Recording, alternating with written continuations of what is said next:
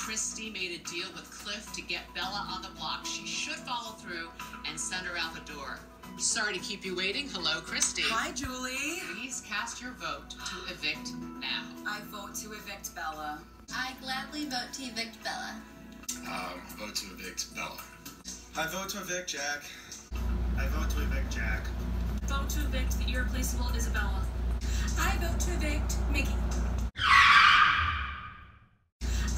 I vote to evict Mickey.